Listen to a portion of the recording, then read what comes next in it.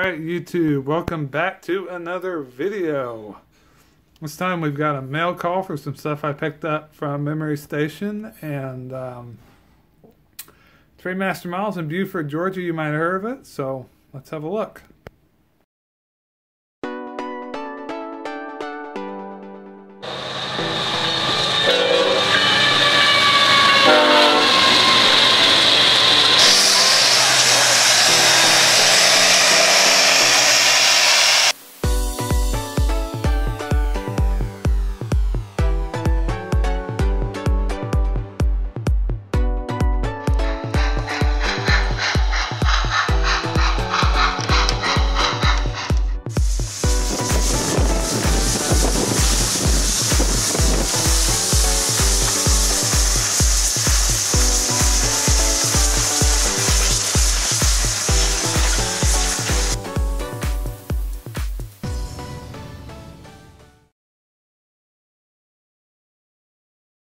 All right, so first thing, and forgive the shaky cam, I'm going handheld.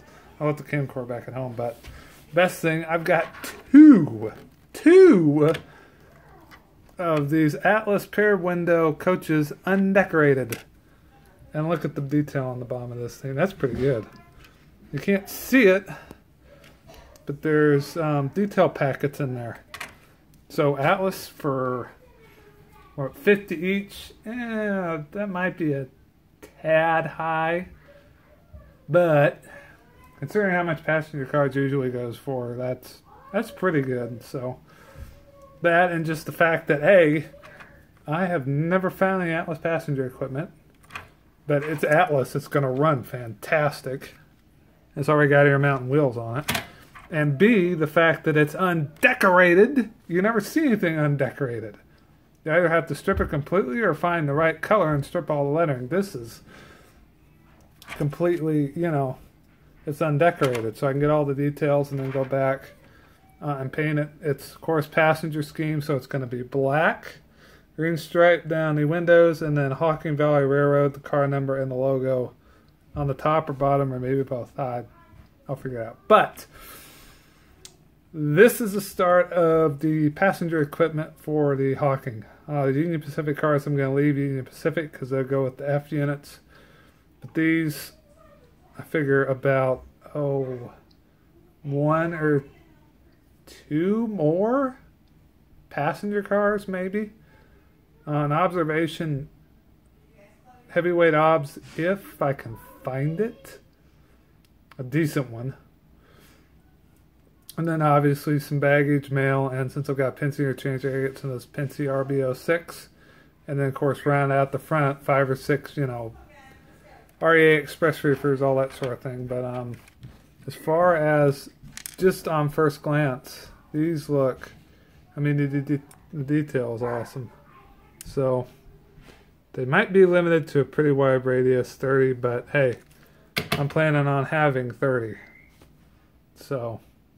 This, um, yeah, I'm, uh, I'm really, really excited about these, as you can tell. So, anyways, moving on. The other things I picked up, we got a Roundhouse Milwaukee Road ribbed hopper. Uh, I don't have an interchange with the Milwaukee, but these are one of those cars that really anchors the era because they were just so commonplace. Uh, that and those B&O round roof box cars, which I already have one from Foxville. I need a couple more, but still yeah, Milwaukee Road unbuilt kit completely, so I can take this and do it at my leisure. I think I think the floor on these has more detail so I can weather the inside. I'll have to double check, but picked up that, picked up a Frisco SLSF. This is another um, Roundhouse kit. These were all in the secondhand department at Oh, Trainmaster. No, wait a minute. Sorry, these weren't. The coaches. Coaches were Trainmaster. These were Memory Station. It's a little shop down in Watkinsville, about 20 minutes from here. I got to do a video on it sometime, but um, obviously you can see it's already been partially assembled. You got the frame with the weight. Uh, it's got horn hook couplers and plastic wheels, but eh, that's okay. You know, I'm not nitpicky. It ain't that hard to swap the wheels out and the couplers. And I like Accurail because look at that, screw mounts. they were doing screw mounts before other people were. So there's that. And then to round it off, we've got a Proto. Not Proto 2000. Yeah, Proto 2000. Proto 2000 Southern Railway 50 foot double door automobile box car. And the built date on this was at 1044. So fairly faded out. I'm trying to find the built date for that Frisco. Yeah. But um, anyways, proto. And again, you can somebody I don't know who partially assembled this thing, but and I gotta get my hands right. Oh crap! If you look at it, I'm trying to get where you can see this. Look at that. He put all the brake rigging on there. It's got metal wheel sets. It's got Kadee couplers, screw mount. He's already got the weight in there, and the weight is screwed in to the um, to weight. So, yeah, I'm not going to do anything with this really. If I do anything, it's probably just going to be paint that weight. But I mean, you can see there's all the underbody details. So, um, what was the price on this? This was like, like oh shoot, ten bucks, which pretty good. Those two were probably eight, and then of course the passenger car was fifty. But again, it's an Atlas car. I didn't know Atlas made. I've never seen the Atlas passenger stuff, and underbody detail already on there, and it's undecorated detail pack. So uh, it probably takes a pretty wide radius. I'm planning on having 30 radius curves anyways, so this um yeah, but anyways, that's gonna do it for this layout update.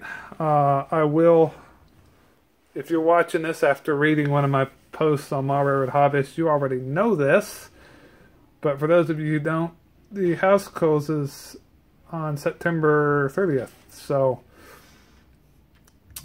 I'm really hoping about the end of the year. Well, I'm hoping, really hoping about November will be in there. I can get to dismantling the old sections, take the time to make myself stop and get my workbench built and organized and set up and then hopefully about Christmas, January, um, I'll take the truck, run down to the lumber yard, and start building. So uh, it's coming, people. Long, slowly but surely, it is coming. So, anyways, that is going to do it. As always, oh, sorry, I was down on my knees. Thank you guys so much for watching. Everybody, take care. God bless. This Goose and Caboose production saying I'll see you on the next video. All right, everybody. Bye.